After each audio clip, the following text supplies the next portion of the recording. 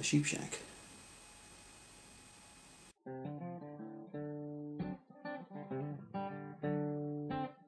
You can start by taking the rope and making a crossing turn. A very, very simple thing to do. All I did was turn it like that.